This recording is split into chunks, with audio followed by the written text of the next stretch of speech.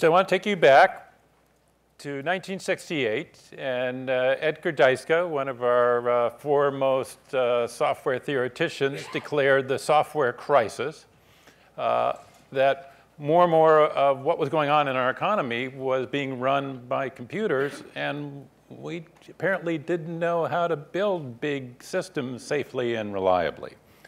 Now, uh, Dijkstra had an analysis of why that was. He says, well, the problem is that the machines have become so powerful. When they were tiny little machines, it was hard to fit a lot of bugs into them. And when they got big, uh, then there was more bugs. And so is that the problem? Are the machines the fault? Or other people said, is it the language that we use to communicate with the machines? Is, is that really the problem? And then the third issue could be, well, maybe it's not their fault at all. Maybe it's just the problems that we're addressing that it was easy to make a reliable system when you're just balancing a checkbook where it's everything's kind of black and white and you add things up and subtract them and make sure they balance. But it's hard when you're interacting with the messy world with uh, self-driving cars and so on. I kind of think that, that that's more to blame, but all of them are in there. And today we're facing these issues of we're changing how we're doing software. We're using machine learning more. We're branching out into areas that we never did before, like self-driving cars and speech recognition and so on. So we have another software crisis or machine learning crisis. But a lot of it, the, uh, the issues we're facing are the same ones we had back in 1968. So let's review what is software. Uh, so here's the process, traditionally. Uh, you have a programmer or maybe a team of programmers, and uh, they come up with a good idea. And then they sit down and by hand, they think of all the possibilities and sketch them out and then debug it and, and ship the software. And so we're, we have this model where software is basically a mathematical science that uh, ultimately you could prove your program's correct. We never quite actually do that for anything but the tiniest little toy programs but we know that that's the model of what we're striving for. And, and the proof of reliability is this kind of mathematical proof or, or logical Boolean true and false truth. But now we have this new model where machine learning is going to partially replace traditional software development. And now it's not the programmer who's writing the program, it's a machine that's writing the program. But as we've heard today, there's still a human in the loop. And the human's role now is one of a teacher, of uh, providing the machine with data, sketching out uh, the bounds of what the model might be, and then the machine does the rest of the work of applying that data, fitting the model, and in the end, writing the program. But the program now looks very different than the program that was written by hand. I've drawn it as a black box that's harder to understand, but uh, optimistically, the top of the box is open, so maybe we can peek inside a little bit. Uh, and of course, the latest phase is that we do deep learning rather than regular machine learning, which just means that there's a bunch of black boxes all stacked together. So now we've changed software from a mathematical science to an empirical science.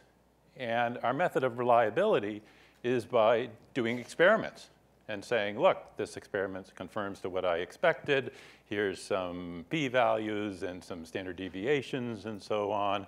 I don't have a proof that it works, but hey, looks like it works most of the time. So that's a big change, right? So essentially, what we used to have is a programmer was like a micromanager. And he said, step by step, here's what you're going to do. And everybody knows how much we like micromanagers, right? but now we're saying maybe we can replace that and now programmers more like a teacher. And that seems like a, a, a more fun and interesting place to be.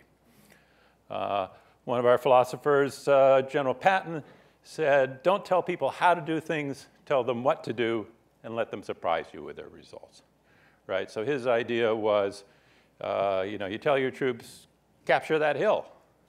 Don't tell them how to do it. Don't say, send one platoon around this side and the other platoon around that side. You know, trust your team. They know what to do. They'll figure it out. Uh, as a commander, I'm not on the ground. Uh, they're in a better position to do it. So just tell what you want to achieve, let them figure it out. The problem, of course, is, well, what about those surprises, right? So if they're the healthy surprise of accomplishment, then you feel really good, but sometimes you get the surprise you didn't want. Right? And I think that's where software is going now, is trying to figure out where are the surprises going to be. It's going to, uh, they're going to be rare, so it's hard to figure out where they are, but we want some confidence to say we're going to get those good surprises and not so many of the bad ones. Right? So I talked about this model switching from uh, micromanager to teacher, we can also think of where that occurs. And in the real world and in the software world, we have a couple different models, right? So one is the small artisanal band in the studio handcrafting something that's uh, beautiful and noteworthy. And here we see two guys named Steve uh, doing that somewhere in a garage not too far from here. Then we move from that to the factory model, where we mass produce stuff, and we do that in the physical world and in the software world. We've learned how to do that, so we can build things that are much larger by putting together teams. But now maybe we're shifting to saying it's not going to be a factory, it's going to be more like a school, and there's going to be a curriculum that you follow. So that's a change in attitude, a change in approach, and it will require a change in training to get there. Now, what are the risks? Well, I, I said that uh, using machine learning is just like regular software, and so there's all the, the normal problems we always had that errors can uh, seep in, and we need tools for dealing with that. There's also problems we've always had of attacks, of uh, uh, cyber criminals trying to break in, trying to defeat your software. We need to be able to defend against that. The types of defenses are going to be a little bit different. And there's a problem of unintended side effects. And this is true anytime you have a powerful technology, right? So think of the internal combustion engine. Uh, we developed that, allow us to do great things. We can now travel where we want to. We can deliver foods and other goods to places where we couldn't have them before. But we also get pollution and, and maybe the way cities are uh, organized is, is not as nice as it could be. And the problem was nobody thought about that in, say, 1904 when cars started to roll out. They didn't think ahead to what these uh, effects might be. So now's a really good time to start thinking about that with, with respect to machine learning, of saying, uh, let's see where we're headed, but let's also try to imagine what might go wrong. And that could be side effects. It could also be kind of the main effect. So this uh, sorcerer's apprentice problem of you tell the system, this is what I want you to do, and sometimes it actually follows what you wanted to do, but you didn't get it quite right. Uh, to me, I think that's a little bit overblown. You know, you hear about the uh, paperclip factory problem of you tell your factory optimize the production of paperclips, and it turns all the world's resources into paperclips. Uh, I think that the problem with that is that's going back to this kind of Boolean model of saying uh, the explanation or the uh, commands we're going to give to a system is one single logical statement. And I think we tend not to build systems like that. We build it with uh, lots of data and lots of examples rather than a single command. So it's not going to uh, take that command the wrong way. It's going to take the totality of what we've shown it. Uh, so I think we have good defenses against that. And then maybe one of the biggest risks is the risk of success. If this all works, then you start getting complacent and say, let's do more of it and let's stop worrying about the problems because it looks like everything's okay. We don't have to be careful anymore. Uh, and that's when you can get in trouble. Okay, so those are the risks. What are the, the issues that uh, sort of cause those risks? So one of the problems with machine learned systems, uh, well, well, with all software, there's a problem of complexity. With machine learned systems, there's a problem of a lack of abstraction barriers. So here we have a schematic of a traditional program, and say there's a bug in the program, and I got to figure it out. What do I do? Well, I can take each of these components and start testing them one by one, and feed in the correct input to one of the components and look what comes out. And if I do that and the second component, uh, the right input comes in and the wrong output comes out, then I know there's a bug in the second component. No matter what's going on in the other places, I've isolated that bug. There may be other bugs elsewhere, uh, but I know there's at least one thing there. And with machine learned systems, it's not really like that. There aren't these uh, boxes that only have one input and one output. It's everything connected to everything else. So it's harder to debug them like that. Um, I think we've, we've faced this kind of system before, not so much in software, but in the real world, where we build big complex systems that have lots of interactions, things like our power grid, uh, where we can't go in and say, I'm going to isolate one part of it. But we figure out how to build these systems reliably because we do systems level tests rather than doing unit tests for, for single components. So we're going to have to take this type of methodology that we use in the physical world and translate it into the software world. And in general, I think we have a lack of tooling. So I'm old enough that when I first started programming, this was state-of-the-art tools. That uh, you got one of these and a, and a, pencil, and you draw out your little flowcharts on paper, and that was supposed to help you along. Uh, in the real world, everybody wrote the program first, and then they did this part afterwards because they knew they were supposed to have done it first, but no one ever did. Uh, since then, we've developed lots of other tools. Uh, it's now harder for a programmer to insert a bug into a program than it used to be. When you pass the wrong type of argument, the compiler now tells you ahead of time. So we have a nice tool chain that we built up over 50 years. But as we move to machine learned systems, we don't have that tool chain. Right? So we focused on making it hard for a human programmer to insert a bug into a line of code, but we're not writing as many lines of code anymore. Rather, we're doing this teaching and training. And we don't have the tool set to say, are there any bugs in, in my data? So we're going to need to develop that as we go. And I think the form of verification we have will move away from this mathematical form of can I prove my program's correct and we'll end up borrowing from control theory. And so here's a diagram from a control theory book. And the idea is that uh, this line here is the uh, trajectory of a system. And I can prove that it's going to be somewhere in this uh, envelope. To say, you know, this straight line here is a linear line that I get a linear line by simplifying my system and saying, uh, you know, on the on the very least uh, of uh, the boundary of what I can do, it's got to be above this line. And then at the very most, it's got to be below this line. And I know it's somewhere in that envelope, and I can make that argument on a mathematical basis. But I say within there, everything's so complex that all bets are off. Uh, but I can keep the trajectory within that envelope. And I think that's what we're going to end up doing is, is more of this type of uh, limiting rather than proving.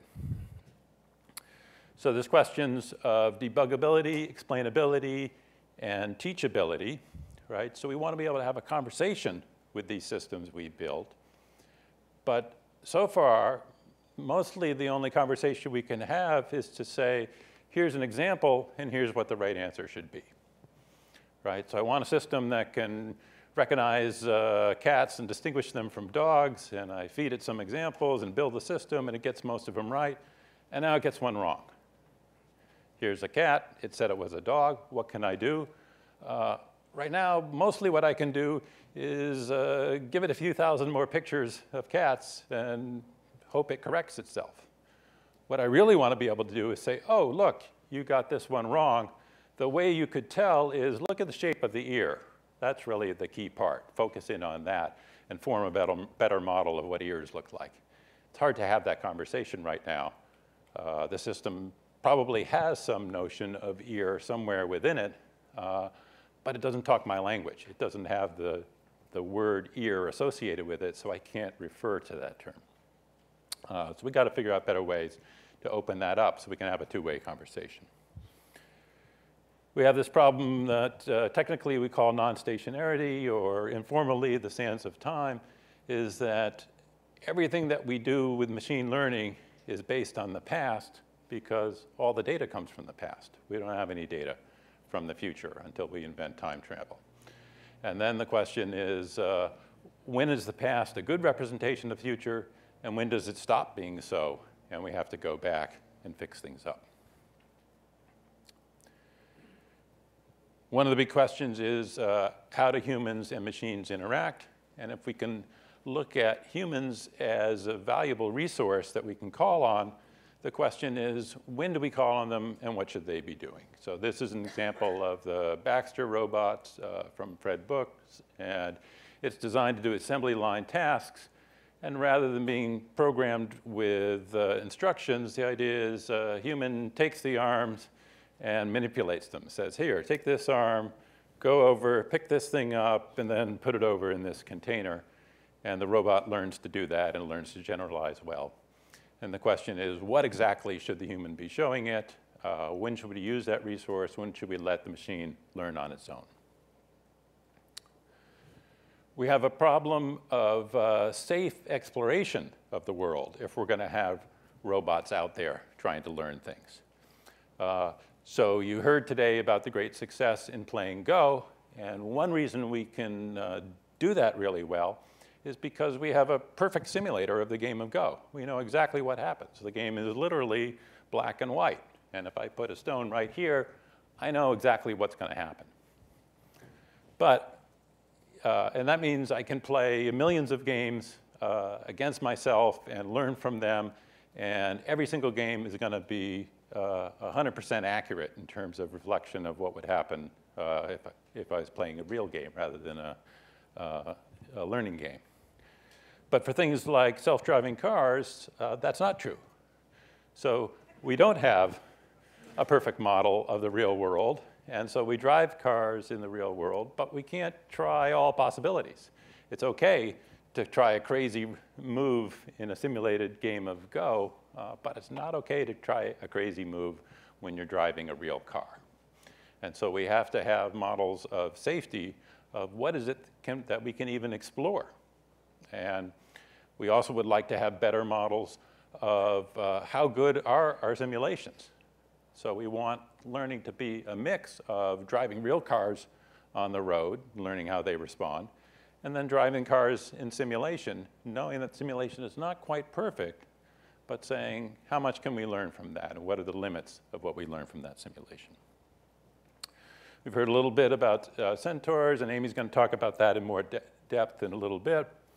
Uh, and uh, at least for me, uh, the idea was popularized by Tyler Cowen, who said, uh, well, look, don't be so pessimistic about uh, robots taking over all your jobs, because look at the game of chess. So chess programs are better than any single human. But if you put together a bunch of chess programs with uh, humans into a team, then that's better than any human by itself or any machine by itself right? So this opportunity for the humans to serve as a, a manager over this, this team. Uh, and that's true enough. Uh, those are the results. Uh, but I think it's a little bit questionable. So I think one reason why it's true is nobody's ever tried to build a machine which served the role of the human in the centaur.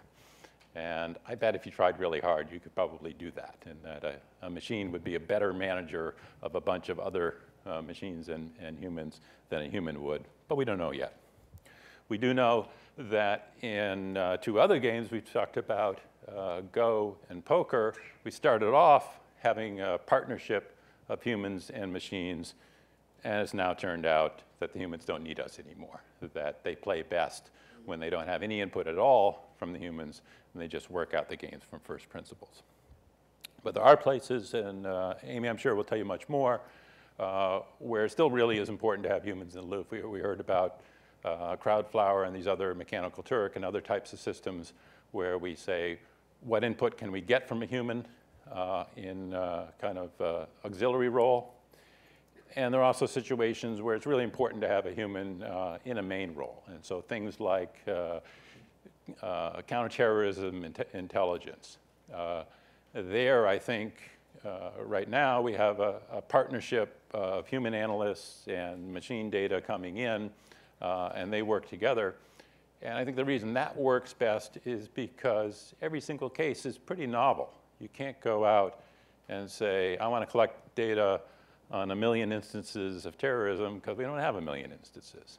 Uh, and because each case is, is uh, so different from each of the others, it's good to combine the data that you do have with the human in the loop.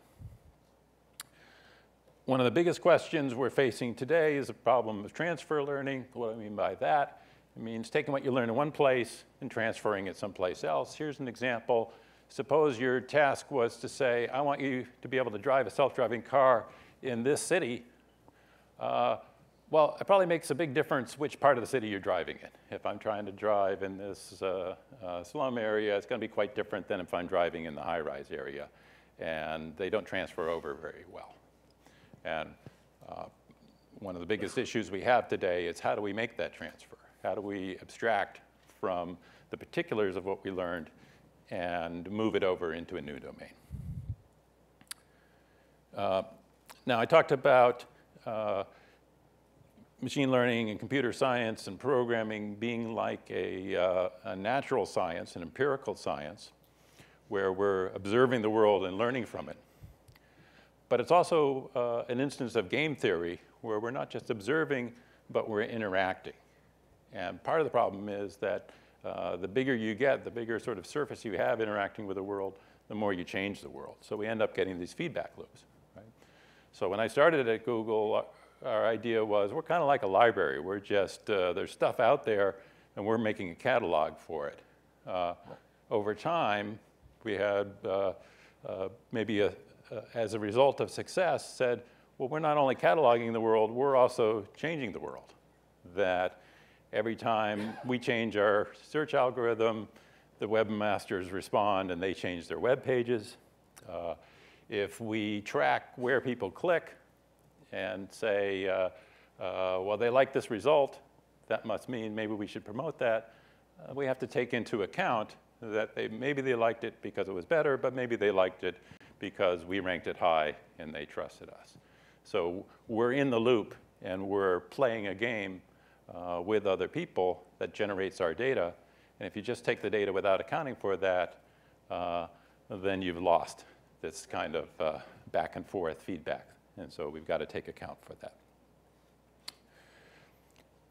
Another issue is uh, not only are there people playing a game, but there's some, maybe some people trying to defeat you. They're adversaries.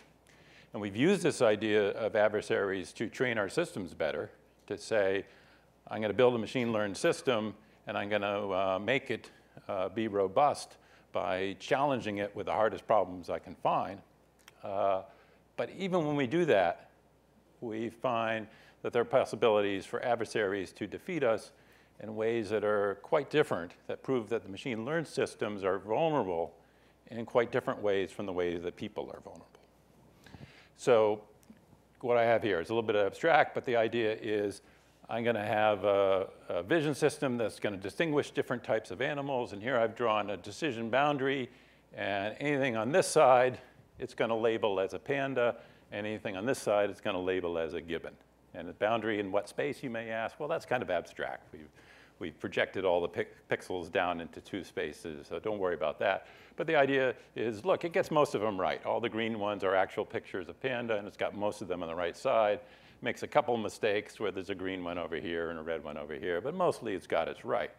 So, you know, we build these computer vision systems, they get 90, 95% accuracy. Have we solved the whole problem? Well, the adversarial approach says, well, look, here's what I'm going to do. I'm going to take this one picture right here. That's a picture of a panda. So it got that one right. That's great. But now I'm going to say, uh, I can peek into the, the uh, program or the machine that I built and I know where that decision boundary is. So what if I just moved over the boundary? What if I said, I'm going to take a couple of the pixels, I'm going to change them a little bit so that it just moves over the boundary. So that looks like this. So here I got this picture. It says it's a panda. I'm pretty sure of that, not 100% sure. And now I got this tiny little uh, perturbation of a few of the pixels, 0.007, so less than 1% change from this picture to that picture.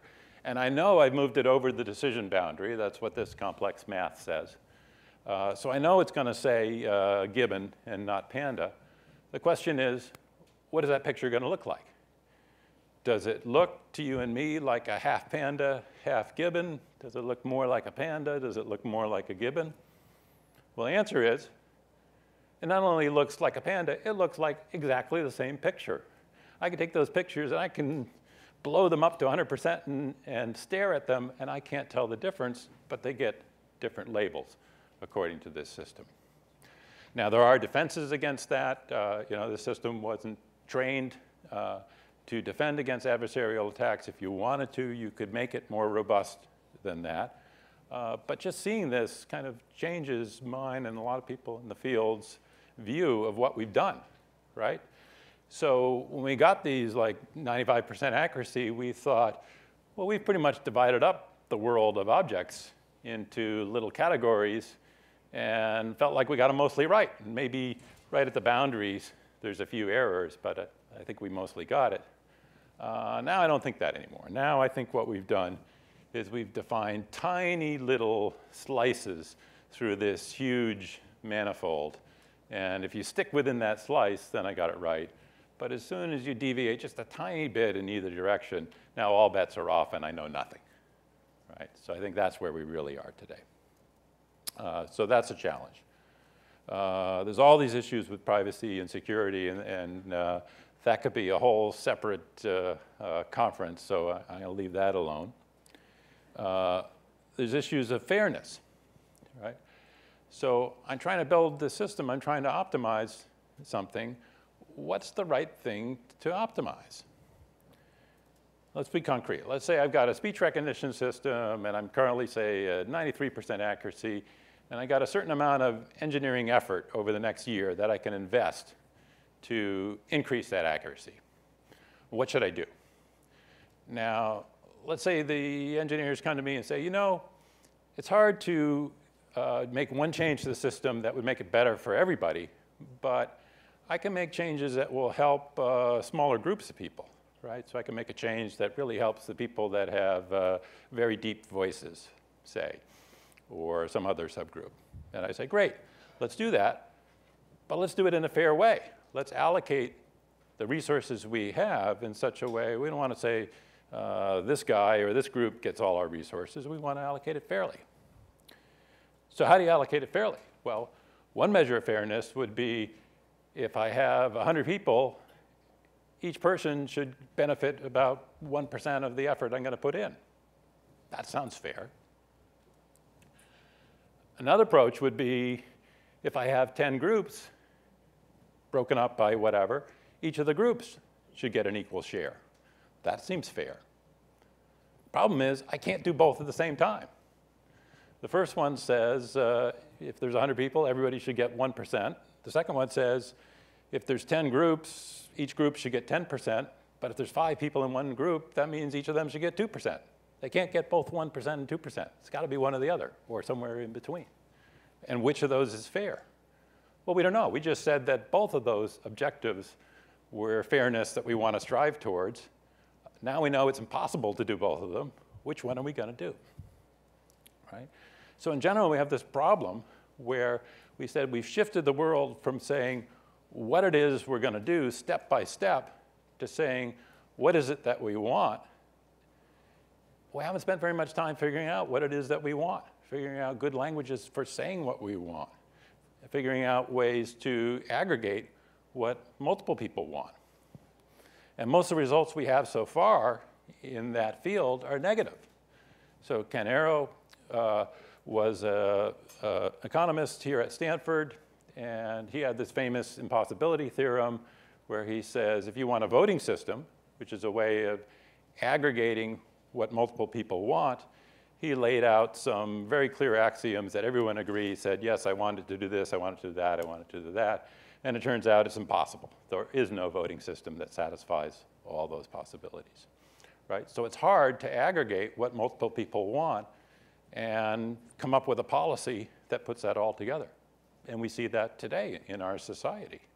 Right? We have all these tough questions we can't even tackle the easy questions, right? We don't know who should be allowed to go to what bathroom. How are we going to tackle the tough societal questions if we can't even get that far? So I want to close with uh, two philosophers who debated what really counts. Are we going after what you want or are we going after what you need? And uh, Mick's more famous here, but I got to side with Bob. because what we said that we needed is all this stuff, right? Peace, stop hunger, equality and diversity. But in a marketplace, we voted on what we wanted and we said, this is what we want.